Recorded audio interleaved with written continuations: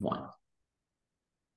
And welcome everybody to another Smart Money Circle update. I'm Adam Sarhan. With me today is Michael Kehoe, who's the CEO of Kinsale Capital Group, Inc. Ticker symbol is KNSL. Michael, welcome to the show. Thank you, Adam. Glad to be here. I always like to ask, Mike, can you begin by telling us about your journey and how you got to where you are today? Uh, yeah. Um, you know, I had a father who's an insurance broker. Uh, coming out of law school uh, a couple decades ago, I was looking to get into real estate development. Uh, at the time, real estate was kind of going through a bit of a recession, and um, ended up getting a job as a staff attorney in a specialty insurance company, and um, here I am. Love it. a lot in between, but uh, you know, basically uh, learning the business, taking on more responsibility, and then being involved in a de novo startup, and uh, you know, with a private equity finance group, and then a number of years later, doing a second one uh, really uh, on my own initiative. Nice, I love that. And then tell us about your business, just in general overview, and some of your competitive advantages, please. Yeah, so uh, the best way to think about the P&C or property casualty insurance is it's a large, mature industry uh, tends to grow with the economy a little bit faster than the economy.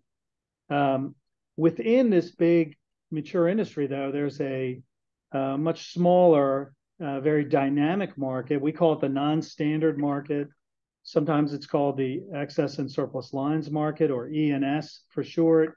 Sometimes it's referred to as the specialty market, but it's essentially a market for high hazard accounts that fall into when they can't bind or purchase coverage from your uh, standard lines insurance company. So uh, that could be brand new businesses that don't have the requisite track record. It could be a business that's engaged in a high hazard operation, uh, demolition contractor, or maybe you manufacture sporting goods.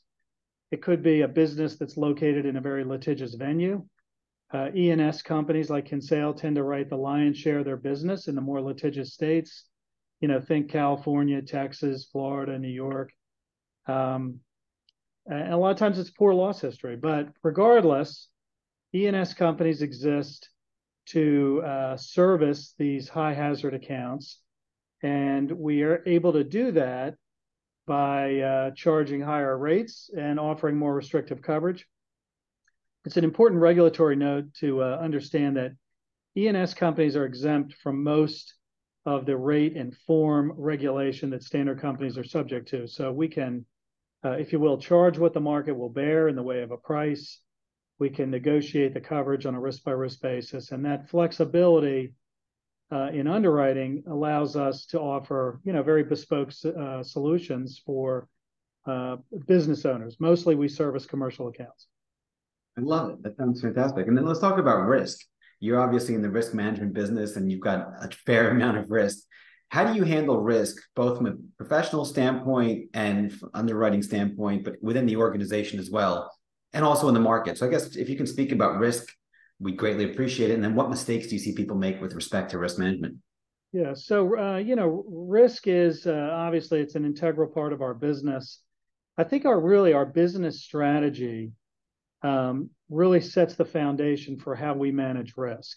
Um, we focus exclusively on the non-standard market or the E&S market, which historically has offered up not only better growth prospects but better margins. Um, we focus on smaller accounts really for the same reason.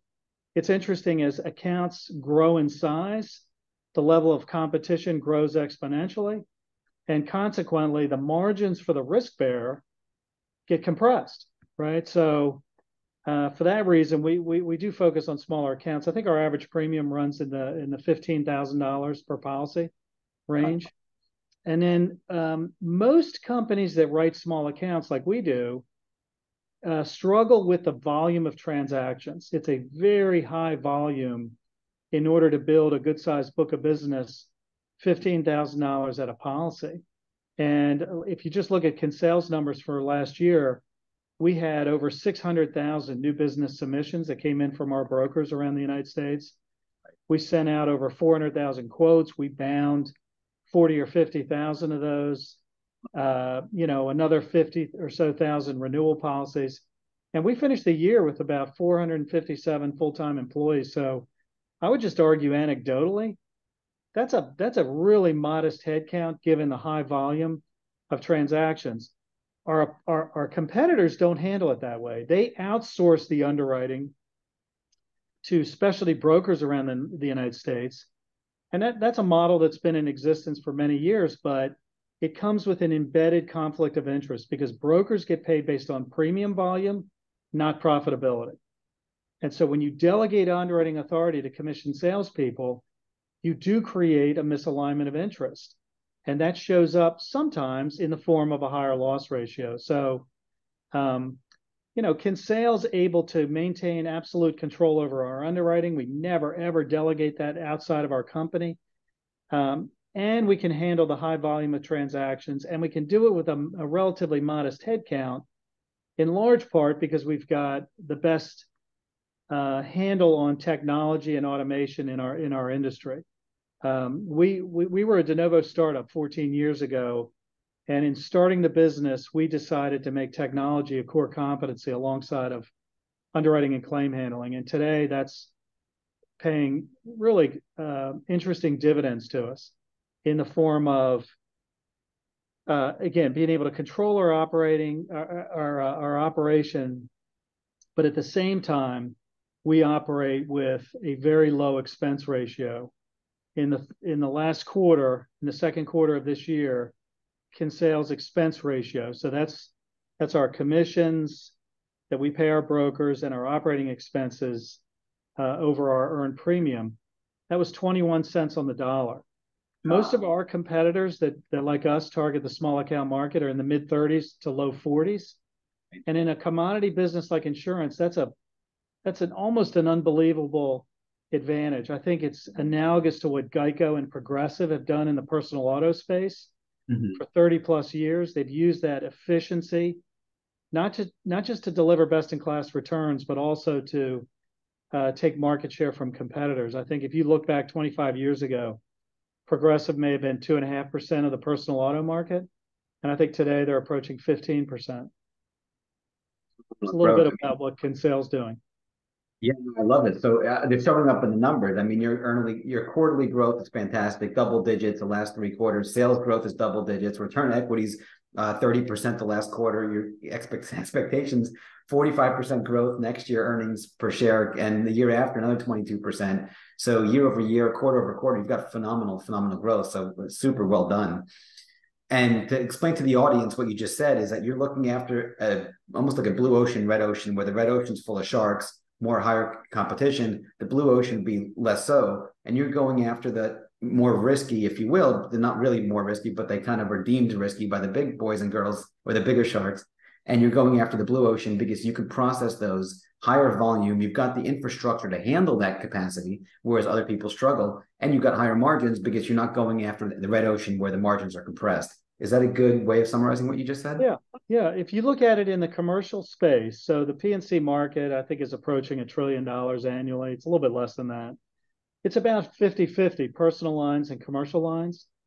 And that commercial piece, you know, 400, I, I, to be honest, I don't know the exact number. Call it four, four or 500 uh, billion dollars of annual premium. It's about 50 50 I'm sorry, it's about 80 20 standard versus non standard markets. So we're in a market that I think this year might be 115 billion or so of premium.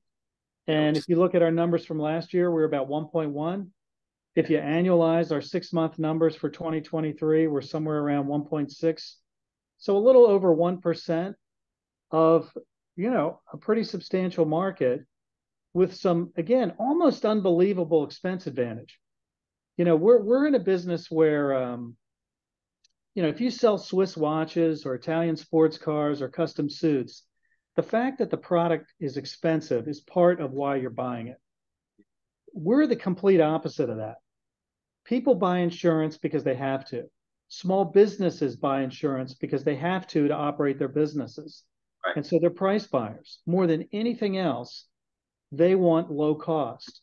Right. And so for us to operate at a 21% expense ratio, we've got competitors 10, 15, 20 points higher. it's it's I'll, just say it. I think it's it's almost an unbelievable advantage, um, especially given the fact that we've been in business now. This is our 14th year in business, and um, I think it speaks to the challenge that old line insurance companies have in modernizing their systems and their business process and their use of automation, you know, pushing repetitive tasks away from people and into the software of the business in order to uh, to be more efficient and in order to reduce costs. And um, as a de novo startup 14 years ago, again, we we made that a big priority. And so uh, it it really does seem, at least for the foreseeable future, that Kinsale is in a pretty interesting environment. We're in a, a higher margin segment of our industry. It's a it's a segment that's growing at a good clip and we've got these these uh, competitive advantages again that seem to have real durability to them. The number, right? Since I think every single year in the last four or five years, you've been not just profitable, but you've been growing your profits year over year. I see $1.79 in 18, 241 in 19, 316 in 20, 574 and 21, 780 and 22, 1131 expected this year, and 1380 next year. So phenomenal growth. I mean, just the, the proof is in the pudding. It is. And again, if you know, if if investors look back at what Progressive and Geico have done in the personal auto space, that's that's one of the complaints about uh, that that we hear at Kinsale. You know, when we talk to investors, because Kinsale does trade at a at a pretty lofty multiple. It's probably uh, you know somewhere around 30 times, I think, forward earnings and maybe a little bit more. And you know, sometimes investors look at insurance companies as a multiple book value. And uh, on the book measurement, we traded at quite a premium to our competitors. But um, you know, again, you you look back at a at a company like Progressive 25 years ago, if you could have purchased that stock today, you know, at that price, even though it was trading at a rich multiple back then, you know, there's no investor in the world that would turn down that opportunity. 100%. And so, you know, I think there's a little bit of that uh, dynamic in play with Kinsale. No, I, I mean, I, anyone tells you they have a high multiple, they just they don't understand the growth component, in my humble opinion, because the growth is more than justifies that high multiple and then some. Right. Yeah. So let's talk about some timeless lessons that you've learned, Michael, along the way that you'd like to share with the audience. Uh, you know, um, uh, the foundation, I think, in our business and, and probably most businesses is people. And um, you know, it's there's an I'll make an interesting observation. If you if you look at the history of the P&C industry and you compare it to other financial service businesses, so money center banks, community banks, life and health companies, broker dealers, asset managers, specialty lenders, you know, there's all these different financial related businesses. It's interesting how often when you compare the returns that P&C is ranked either at the bottom or near the bottom right? It's a, it's an industry renowned for mediocrity, and um, well said there. Say that again. Well said. Very well said. Now, the, the anomaly is that within this uh, industry renowned for mediocrity, there are these kind of top quartile or quintile outperformers that tend to just create a, a lot of wealth you know, year after year after year. And I think I think Progressive and Geico are great examples of that. Uh, there's there's specialty companies like Arch Capital, Renaissance Re. I mean, there's a lot of examples. Uh, RLI, another specialty company. Lots of examples of companies that have done really good things, even in this, if you will, under underperforming industry. And um, clearly, that's what we aspire to do here at Kinsale.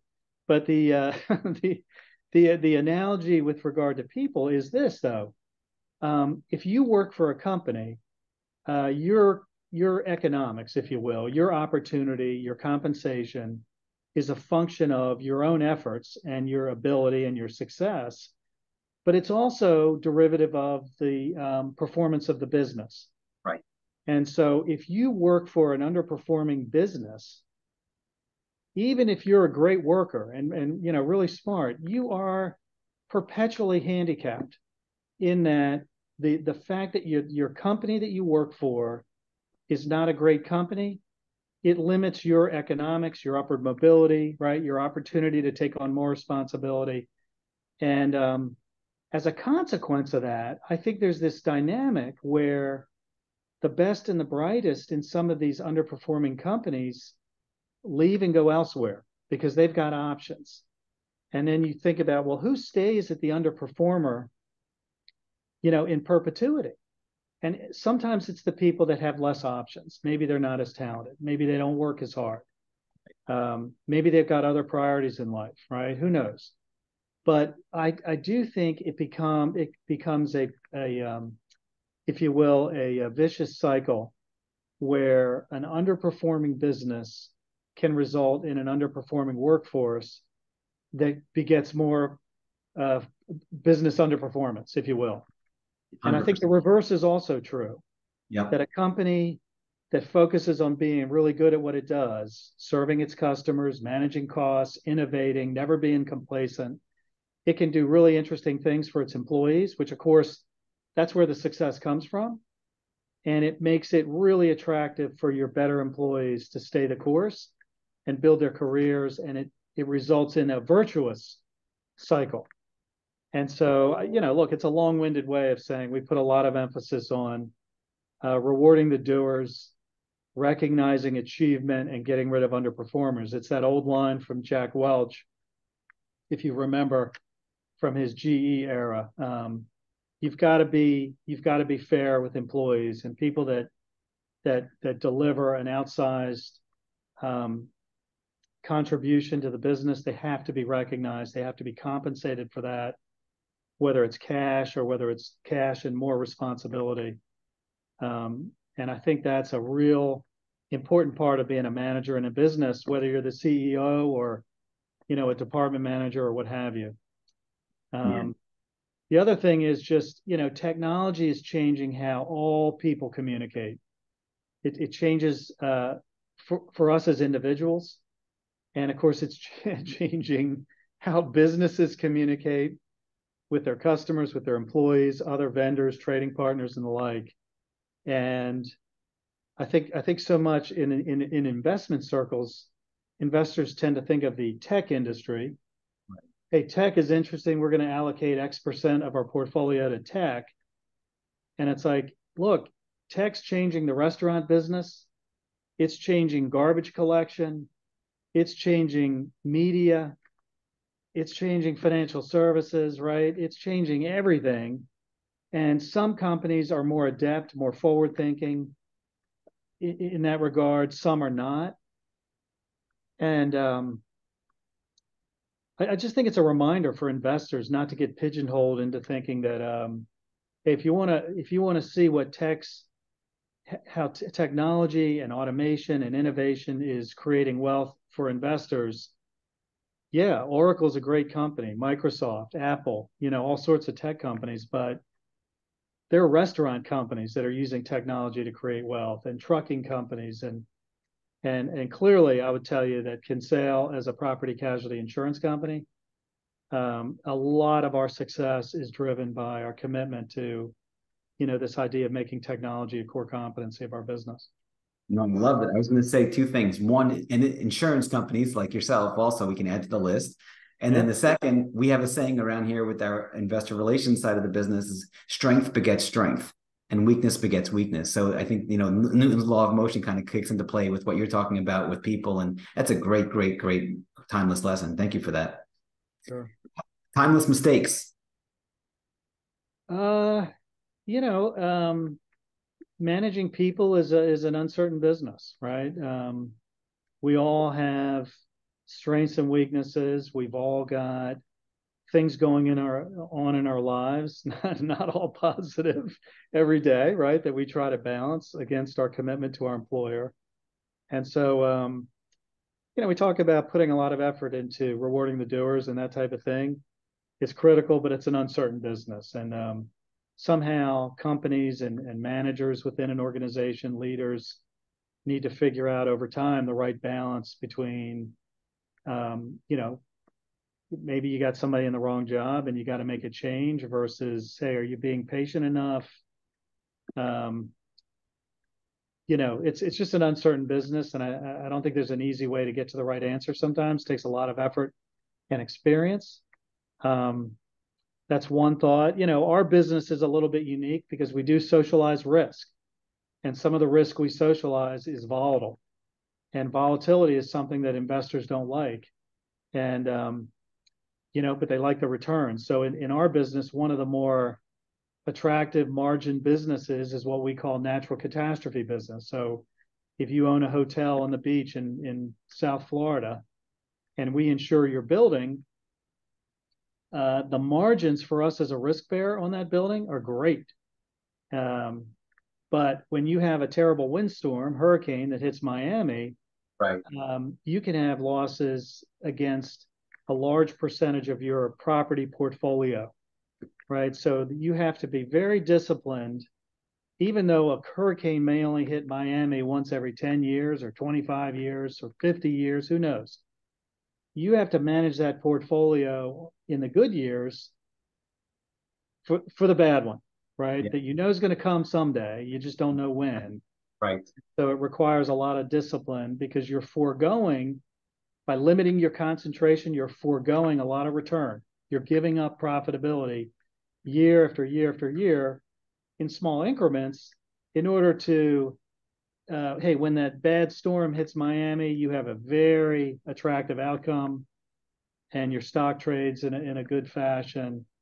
Um, but that's where I think weaker managers sometimes get ahead of themselves.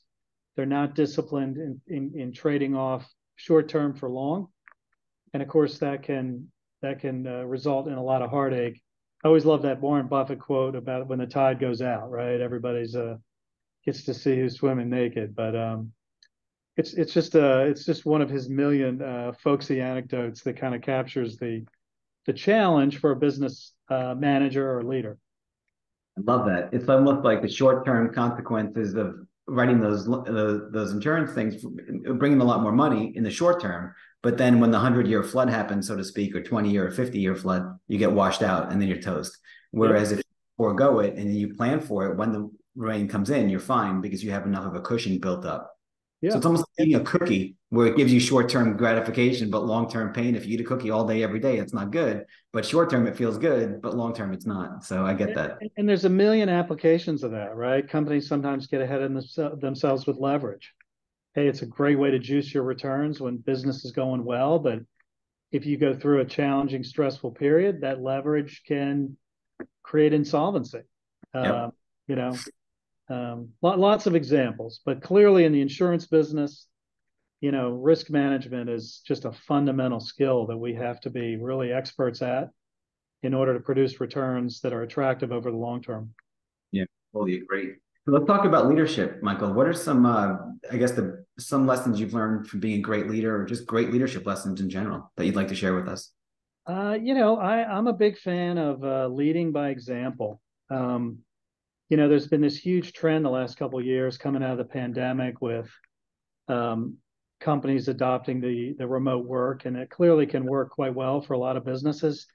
Yeah. We're a business that uh, is is a little bit contrarian in that we moved all of our employees back to the office in October of 2020, mm-hmm. and um, you know there was a little bit of blowback. We did lose some some good employees that weren't comfortable, but uh, it was it's just such a um, important part of how we operate certain parts of our business, like underwriting and claim handling and system development. Those tasks are collaborative in nature. And so, sitting in an office with your team where you can share experiences is critical to us doing a good job. It allows us to maximize productivity. Uh, we're in growth mode. So, as you would expect, we've been hiring a lot of new employees over the last several years, and we tend to hire new people to the industry as opposed as opposed to hiring from competitors. And so those new employees learn the business by working alongside experienced personnel. And um, you know, if everybody were in their living room, you give that up. But but I do think part of the reason a lot of companies have stayed wedded to that remote model is who in the organization has the second home down in Florida or in Jackson Hole, Wyoming, or what have you. It's the senior leaders, right? And they want to work out of the vacation home or the ski home or what have you. And I just I just think it's a great example where hey, leading by example is important. And um, if you tell your company, hey, uh, managing expenses carefully is fundamental to our success in our business, then I don't think it makes sense for me to be jumping on private airplanes all day long. Um, if we need to be in the office in order to execute our plan and serve our customers and train new employees, then I don't think it makes sense for me to be in my vacation home all summer. I think it makes sense for me to be here in the office, right. just like everybody else. And so, um, you know, sometimes it's a drag, but I think leading by example is just um, a really critical part of being uh, good at good at what you do if you're in a um, some sort of managerial role within a company. Love that. And let's talk about adversity. What some uh, obstacles you've overcome in your journey, or how do you handle adversity? Uh, you know, well, uh, you know, insurance, like all businesses, is hyper competitive. Uh, so it's not unusual. You've got a competitor that's coming into your space where maybe we've grown our book of business and have produced really good returns and hey, they're trying to squeeze those margins and take some of that uh, margin away from us. That can be frustrating. We're in a competitive labor market. We're an outperformer financially, so we're a target for a lot of new capital that's come into our industry where their uh, new companies are spinning up and uh, they want to hire experienced personnel. You know, that can be frustrating, but um, you know, not every product line we get into is a success. So staying on top of the profitability is important. But look, I, I just think tenacity, stick to itiveness, um, never being complacent, um, taking care of people that are good workers and making sure they're recognized for their hard work. Um, all those things I think just allow you to persevere through, you know, good days and bad. Um, you know, there's that Kipling poem, um, I can't remember the damn name of it. Uh, um, but he's got a line in there about uh, you know success and failure, and treat those two imposters just the same. You know, um, which is probably uh, what the thought that comes to mind at the moment. You got to be prepared for in the good times. You got to be prepared for the tough times. And I think as a business leader in the tough times, you got to be prepared for the good. Uh, you know, because life does ebb and flow. Yeah, like red light, green light, where after every red light there's a green light and vice versa. Yeah. Matthew McConaughey talks about that. Okay, wonderful. So final question for you, Michael. What is the best piece of advice you'd like to give to the audience or to your 30-year-old self? Uh, you know, integrity is fundamental, I think, to success in business and just human relations in general. Uh, it's amazing to me. You know, I've worked for different companies over the last 30 or, or so uh, years and it's amazing how many times you work with somebody in one organization, years later, you're working with them again in a different capacity. And so, um, you know, treating your your colleagues, your customers, your vendors um, with respect, even if you've got disagreements, right? That's in, that's that's inevitable in business, right? You have disputes, disagreements, conflicts, but being able to work through that where you treat other people I think with courtesy and respect, trying to always conduct your affairs with a sense of integrity. Um, I think it pays so many practical dividends over the years. You, it's just amazing. So uh, that's just my last uh, comment. I love it. Uh, I know this has been really, really fantastic, Michael. Thank you so much for coming on the show. Everybody can get more information at kinsalecapitalgroup.com. Is that correct? The website? That's correct and the ticker symbol is KNSL. And hopefully, Michael will speak to you again soon. This was really fantastic. Thanks, Adam. Enjoy Thank being you. with you. Likewise.